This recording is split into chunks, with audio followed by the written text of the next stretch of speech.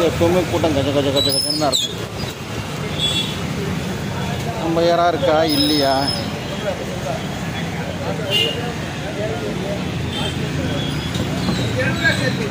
வணக்கம் தலைவரே.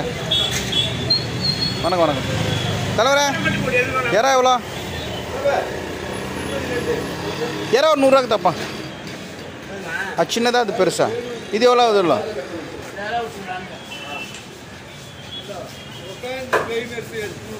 அவ்வளோதான் வியாபாரம் எப்படி இருக்கு? பரவாயில்லையா.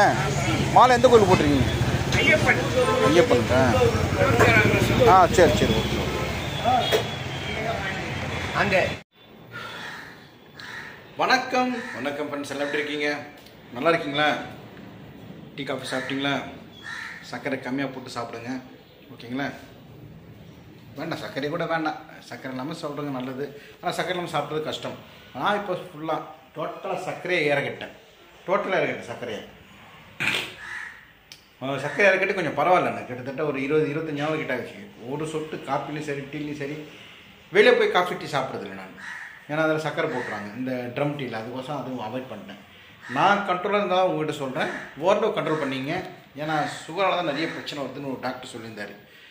கண்ட்ரோல் பண்ணிட்டேன் நான். ஓகே அடுத்து. இப்போ கடைக்கு போயிட்டு வந்தேன். கடைனா எல்லாம் பார்த்துருப்பீங்க லாஸ்ட் வீடியோவில் எல்லாம் போயிட்டு வாங்கிட்டு வந்ததுக்கு ஒரு நாளைக்கு நம்ம மளிகை ஜாமான் வாங்கலாமல் குறைஞ்சது ஒரு ஃபேமிலி ஐநூறுரூவா செலவாயிடுது இல்லையா? ரைட் ஓகே இப்போ நம்மளுக்கு எவ்வளோ இருக்குன்னு பார்க்கலாமா? நம்ம பட்ஜெட்டு வாங்க. சிம்பிளாக தான் வாங்கியிருக்கேன். காய்கறி கூட இன்னும் வாங்கலை. இப்போ போன மறுபடியும் இருந்துச்சு சாரி ஒய்ஃப் வந்து சொல்லுவாங்க என்னென்ன வாங்கணும்? கத்திரிக்காய் முருங்காய் மாங்காய் கொத்தவரங்காய் அவரைக்காய் கோ கோவக்காய். நான் வாங்கி வரல. இப்போ மறுபடியும் கடைக்கு போனேன் நான். அங்கே எழுதி வைப்பாங்க எப்பவுமே மறந்துட்டு இருக்காங்க. நான் போனால் மறந்துடுவேன் அதுக்கு தான் சரி என்னன்னு பார்க்கலாம் வாங்க. ஏ அப்படின்னு நீங்களும் கணக்கு போட்டுங்களேன். ரெண்டு பால் ஐம்பது ரூபா. இது ஃப்ரீ நான் ஒரு கிலோ மாவு கேட்டேன் அரை கிலோ தான் இருந்துச்சு. இது இருபது ரூபா. இது ஒரு அஞ்சு ரூபா. நான் இப்போ வாங்கி வச்சது எதுக்குன்னு சொல்கிறேன் தக்காளி இன்றைக்கி ரெண்டு கிலோ அம் ரெண்டு கிலோ நூறுரூவா நான் ஒரு கிலோ வாங்கினேன். ஐம்பது ரூபா. இது வந்து ஒன்றரை கிலோ நூறுரூவா வெங்காயம். இது சக்கரவள்ளி கிழங்கு நம்ம பூசணிக்காய் ரெண்டும் சேர்த்து இருபத்தி எட்டு ரூபா. இந்த சோப்பு வந்து அறுபது ரூபா. இந்த சோப் உண்மையில சொல்கிறேன் நல்லா இருக்குது நான் க்ளோஸ்அப்பில் கூட காமிச்சிடறேன் பாருங்கள் ஸ்க்ரீன்ஷாட் எடுத்து வச்சுங்க. ட்ரை பண்ணி பாருங்கள் இந்த பிளாக்லாம் இருக்குது இல்லையா காலில்? அந்த ஸ்கி ரேஷஸில் அரிச்ச அப்புறம் பிளாக் பிளாக் ஆகிடும் அதெல்லாம் போட்டு ஒரு கிட்டத்தட்ட 90% பர்சன்ட் அவங்க ஒய்ஃபுக்கு கிட்டத்தட்ட ஒரு ஒரு மாதத்தில் க்யூர் ஆகிருக்கு ட்ரை பண்ணி இந்த ஸ்கின் டிசீஸ் இருக்கும் இதை ட்ரை பண்ணி பாருங்கள் ஓகேங்களா ரைட் இது வாங்கினோம்னா அடுத்து வந்து இந்த இறா. இந்த இறா நூறுரூவா. எனக்கு மட்டும்தான் வாங்கியிருக்கேன். இந்த நூறுரூவா இறாவை ரெண்டு டிஷ்ஷாக பண்ணலான்ட்ருக்கேன். கொஞ்சோண்டு இதை தொக்கு வச்சுட்டு கொஞ்சோண்டு வந்து டயட் ப்ரான் நான் பண்ணுறேன் பாருங்களேன். ஓகே ரைட் இன்றைக்கி தான் வாங்கி வந்திருக்கேன். இது எவ்வளோ இருக்குது சும்மா கணக்கு போட்டு பாருங்களேன். இருபது இது ஒரு ஐம்பது இருபத்தஞ்சி இருபத்தஞ்சி ஐம்பது எழுபது இது ஒரு ஐம்பது எழு நூற்றி முப்பது இது நூறுரூவா இரநூத்தி முப்பது இது ஒரு அறுபது ரூபா இரநூத்தி தொண்ணூறு இது ஒரு முப்பது ரூபான்னு வச்சுக்கோங்களேன் இர முந்நூற்றி இருபது இது ஒன்று நானூற்றி இருபது ரூபா. இன்னும் கடைக்கு போகல. இன்னும் நிறைய வாங்கி வந்துட்டு முருங்காய் கத்திரிக்காய்லாம் இப்போ வாங்கி வரணும். இதுக்கு இப்போ அதான் சொல்கிறேன் இல்லையா? அப்ராக்சிமேட்டாக ஆகிடும் இப்படி தான் வீட்டில் வந்து எங்கள் வீட்டில் வந்து ஒய்ஃபும் என்னும் சாப்பிட மாட்டாங்க மருமகளும் சாப்பிட மாட்டாங்க. அதனால் பையன் வேலைக்கு போயிடுவான். சூரியக்கு பிரச்சனை கிடையாது. முட்டை கொடுத்தா போதும். முட்டை வாங்கி வச்சுட்டேன் நான் அவனுக்கு. எனக்கு மட்டும் தான் வாங்கி வந்தேன். சொல்லுவீங்க. ஏன்னா அவங்க சாப்பிட்றப்ப நீங்கள் ஏன்னா சாப்பிட்றீங்க? நான் சாப்பிட்ணுன்னு தோணுதுங்க நான் சாப்பிட்ருவேன் நானே செஞ்சு சாப்பிட்றேன். ஒன்றும் பிரச்சனை இல்லை. நூறுரூவா இவ்வளோ யாராக தான் வந்துச்சு. அதில் வந்து பாதி தொக்கு மாதிரி வந்துட்டு பாதி சும்மா அப்படியே டயட் மாதிரி ஃப்ரீ பண்ணுறேன் பார்க்கலாமா? வாங்க. இதெல்லாம் யாரும் கேட்டு வரேன் நான்? வந்தேன். போயிட்டு வந்துட்டு கத்திரிக்காய் கேட்டிருந்தாங்க. இந்த கத்திரிக்காய் நல்லாயிருக்கும் பார்க்கறது பார்க்க நல்லா இருந்துச்சு. சரி இது இருபது ரூபா. வாழைத்தண்டு இருபது ரூபா. கார்ன்ஃப்ளவர் இது வேறு கடை இது வேறு கடை. கார்ன்ஃப்ளவர் பீன்ஸு அப்புறம் வந்து சவு சவ் கேரட்டு இது மூணு சேர்த்து எண்பது ரூபா. நான் என்ன விலை விலை கேட்கல அப்புறம் இது வந்து கொய்யாக்காய் நேற்று வந்து ஒரு கிலோ வாங்கி வந்தேன். பெரிய பெரிய கொய்யாக்காய் வாங்கி வந்துட்டேன். அது எங்கள் ஒய்ஃப் கட் பண்ணாங்க. ஒரே மருந்து நாத்தம். பயங்கர மருந்து நாத்தம். அது எடுத்துன்னு போய் கொடுத்துட்டு இது அறுபது ரூபா. சாரி சாரி இது வந்து கிலோ எழுபது ரூபா. கொய்யாக்காய் ஃப்ரெஷ்ஷாக இருந்துச்சு. அப்படியே மரத்துலேருந்து பிச்சை மாதிரி எல்லாம் ஃப்ரெஷ்ஷாக இருந்துச்சு பாருங்கள் இது எழுபது ரூபா வாங்கலாமா? இந்த கொய்யா. அவ்வளோதான் இப்போ நம்ம வேலையை நம்ம பார்க்க ஆரம்பிச்சிடலாம். கடைக்கு போய்ட்டு அதில் போதும் போதும் ஆகிடும் ஏய் ஓடு. அவ்வளோதாங்க இது வந்து ஒரு கிலோ கொய்யா எழுபது ரூபா. ஸோ இதெல்லாம் முடிக்கிறது ஐநூறுரூவா வச்சிங்களா ரைட் அப்படி தான் ஆகும். இப்போ நம்ம வந்து யாராக பண்ணிடலாம்? கொஞ்சோண்டு வாங்கியிருக்கா ரெண்டு வகையாக பண்ணிடலாம். ரெண்டு தக்காளி ரெண்டு வெங்காயம் ரெண்டு பச்சை மிளகா கட் பண்ணி வச்சிட்டேன். கொஞ்சம் இறா தான் ஆனால் தொக்கு நிறைய வந்துச்சுன்னா சாப்பாட்டில் பேசி சாப்பிட்லாம். அதுக்கு தான் அந்த ஐடியா நூறுரூவா இறா. Okay okay. இதில் நான் பாதி தொக்கு பண்ணிவிட்டு பாதி கொஞ்சம் ஃப்ரை மாதிரி பண்ணிப்பேன் நான். எனக்கு மட்டும் தானே? சரி அப்படியே மாறிச்சு பாருங்க கிளைமேட்டு ஃபுல்லாக இட்டுனே வருது. வெங்காயம் வருது நினைக்கிறேன். காலைல தான் வாங்கினேன். கொஞ்சம் எண்ணெய் எடுத்துட்டு இருக்கேன். இதில் ரெண்டு. எண்ணெய் காஞ்சி ரொம்ப காஞ்சிச்சு. வெளியே ரெண்டு வெங்காயம் ரெண்டு பச்சை மிளகாய். பதங்கட்டும் இது உப்பு கொஞ்சம் கொடு. இப்போ ஸ்டார்டிங்கில் உப்பு போட்டுருவோம் நல்லா வதங்க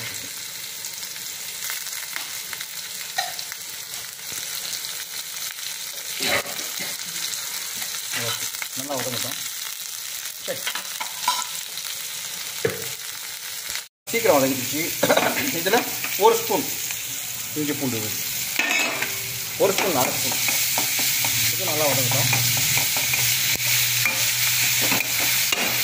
ரொம்ப சிம்பிளுங்க இது. நல்லா இஞ்சி பூண்டு வெங்காயம் நல்லா வதங்குது. நான் கொஞ்சோண்டு தண்ணி ஊற்றினேன் ஏன்னா கொஞ்சம் தீர மாதிரி இருக்குன்ட்டு.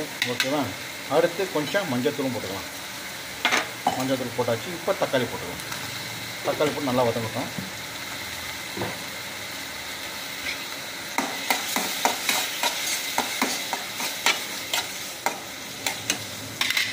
நல்லா வதங்கும் பார்த்தீங்கன்னா வருதுங்களா இப்போது இந்த இறா இல்லையா கொஞ்சோண்டு அது கையில் வாரி அப்ராக்சிமேட்டாக தான் போட்டேன். போதும். இது வந்து நான் என்ன பண்ணுறேன் மட்டும் பாருங்கள் இது கொஞ்சம் ஃப்ரே மாதிரி பண்ணிவிடுவேன் இப்போ இது போதும். இது வந்து வாசனையும் இருக்கும். டேஸ்ட்டாகவும் இருக்கும் இது நல்லா வதங்கட்டும். மஞ்சள் தூள்லாம் போட்டாச்சு. வேறு எதுவுமே கிடையாதுங்க எந்த மசாலாவும் கிடையாது. நல்லா வதங்கட்டும். ஓகே அது ஒரு பக்கம் ஆகிட்டு இப்போ இதை நம்ம என்ன பண்ணலாம்? ஒரு கிண்ணம் எடுத்துகிட்டு இருக்கேன். அதில் நம்ம சிக்கன் சி சிக்கன் டவா தான் வாயில் ஊற்ற முடியுது. கொஞ்சம் தண்ணியாக இருக்குது தண்ணியை உடிச்சிடலாம் ஓகே. இப்போது ஒரு பத்து பாஞ்சு இருக்குமா? இதில் ஒரு முட்டையை வச்சு ஊற்றிக்கலாம் ஊற்றி வச்சா குப்பையில் போடணும். போட்டாச்சு. கை கழுவியாச்சு அடுத்து பெப்பர் தூள். பெப்பர் தூளை போட்டாச்சு. அடுத்து கொஞ்சம் கார்ன்ஃப்ளவர் மாவு. கொஞ்சம் போட்டாச்சு. அடுத்து எப்படி கொஞ்சம் பொடி? அடுத்து கொஞ்சம் மைதா மாவு. கொஞ்சம் மைதா மாவு போட்டாச்சு. அடுத்து கொஞ்சம் ப்ளைன் மிளகாத்தூள். கொஞ்சம் திறந்து கொடு. நம்ம இஷ்டம்தான். நம்ம காரத்துக்கு ஏற்ற மாதிரி. போட்டாச்சு. அவ்வளோதாங்க தயிர் சிக்கன் நான் தயிர் ஊற்றுவேன். இதை தயிர் ஊற்றுறமா அந்த மாதிரி தெரியல ஆனால் ஊற்ற வேண்டாம். இது இருக்கு இல்லையா? நல்லா தட்டி விட்டுறலாம் உப்பு போட்டேன் நான் கொஞ்சம் உப்பு போட்டீங்க கையால் போடு. ஆ போட்டு அழுத்தம் போட்டு போட்டு போட்டு போட்டு.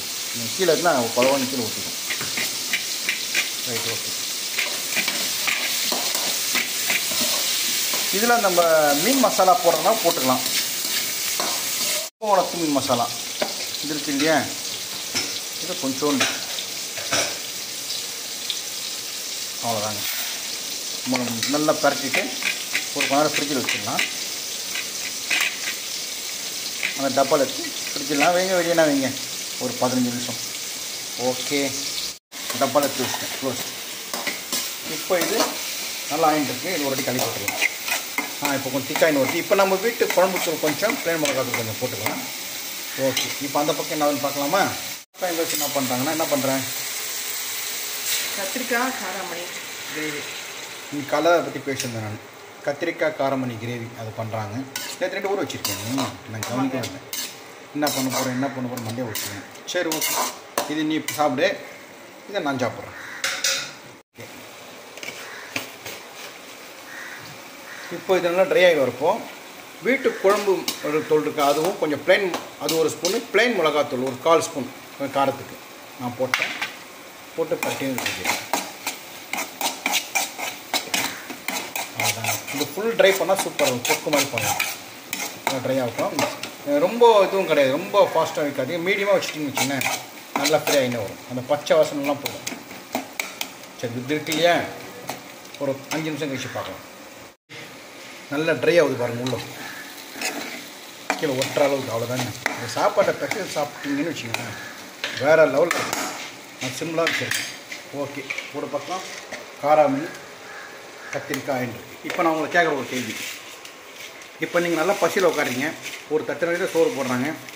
இதை பெசஞ்சு சாப்பிடுவீங்களா? இதை பெசஞ்சு சாப்பிடுவீங்களா? உங்களோட சாய்ஸ் சொல்லுங்கள் கமெண்ட்டில் ஓகே நல்லா பசி ஒரு தட்டில் சூடாக சோறு போடுறாங்க. ரெண்டுமே ரெடியாக இருக்குது நீங்கள் ஃபஸ்ட்டு இதை ஊற்றிப்பீங்களா இதை பெசஞ்சு சாப்பிடுங்களா இல்லை இதை பெசஞ்சு சாப்பிடுங்க சொல்லுங்கள் கொஞ்சம் நான் வந்து எண்ணெய் நான் பண்ணியிருக்கேன். எண்ணெய் ரொம்ப கம்மியாக ஊற்றி பண்ணியிருக்கேன். இப்போ டயட்டில் இருக்கிறதால இதை வந்து கொத்தமல்லி தூவிட்டேன் அவ்வளோதாங்க இது கலக்கி விட்டால் அதில் முடிஞ்சிச்சு அவ்வளோதான் ஸ்டவ் ஆஃப் பண்ணிட்டேன்.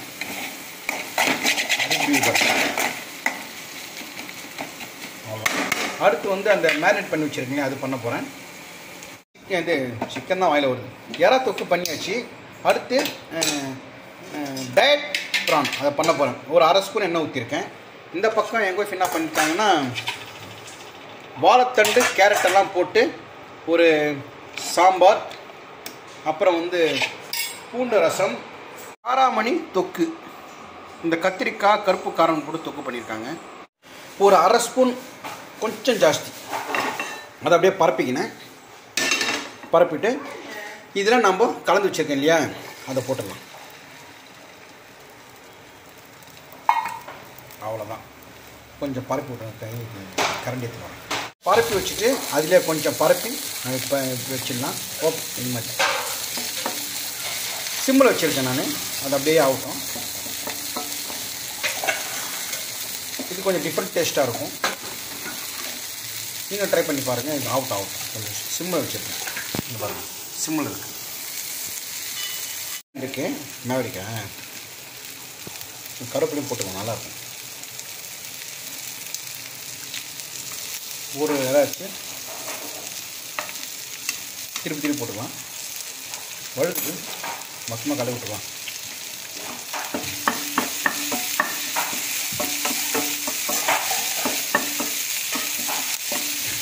சிம்மில் இருக்கட்டும் நேரம் அவ்வளோதாங்க நல்லா ஃப்ரீ ஆகிடுச்சு ஸ்டவ்வை நான் ஆஃப் பண்ணிட்டேன். இந்த சூட்லேயே அது கொஞ்சம் ஃப்ரீ ஆகும். அது நல்லா இருக்குங்களா? ஸோ நூறுரூவா வாங்கி ஐம்பது ரூபா தொக்கு. எங்கே தொக்கு காணும்? இந்த பாருங்க. அட. நூறுரூவாவில் ரெண்டு விதமாக டிஷ்ஷஸ்ஸு கொஞ்சோண்டு தொக்கு மாதிரி பண்ணியாச்சு. கொஞ்சம் இது பண்ணியாச்சு. நீங்கள் ட்ரை பண்ணி பாருங்கள் எப்படின்னு சொல்லுங்கள் ஓகே ஓகே நம்ம வீட்டு சமையல் நம்ம பார்க்கலாமா? என்ன பண்ணியிருக்க சொல்லு? வாழைத்தண்டு கேரட் சாம்பார். ஓகே. அப்புறம் பருப்பு ரசம். பூண்டு ரசம் நினச்சேன். பருப்பு ரசம் அப்புறம் வந்து கத்திரிக்காய் காராமணி கிரேவி. அப்புறம் நீங்கள் இது எறா செஞ்சுருக்கீங்க. எறா தொக்கு டயட் எறா ஃப்ரை எறா அவ்வளோதான் இன்றைக்கி நம்ம வீட்டில் இதுதான் சமையல். நல்லா இருக்குங்களா? சாப்பாடு அங்கே வடிச்சாச்சு. ஓகே. வீட்டில் சமையல். வாங்க சாப்பிட்லாம்.